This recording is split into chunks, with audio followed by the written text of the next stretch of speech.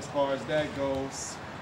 here I am, you know, letting everybody know whatever it is that they would like to know about me. And no doubt that there will be definitely more to come, as I've just pointed out. And no doubt about it, here I am in, oh yes, uh, in all dominations as well as uh, civilians, you know, no doubt that the plastic, you know, I kind of had to make that a thing in the past because, well, no doubt as I've told people, you know, past and present, I had to stop that right at the time when it was necessary to stop that. Otherwise, it would have turned into a health plague of some sort. So, therefore, I figured out a different way to rejuvenate myself, as you can see. That way, I can maintain a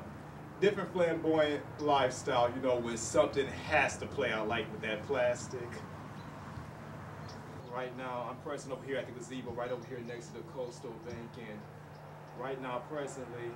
I'm telling, you know, everyone who wants to know my story about myself as to why I do what I do, and any other questions that anyone still wants to know, I'm here to answer, and uh,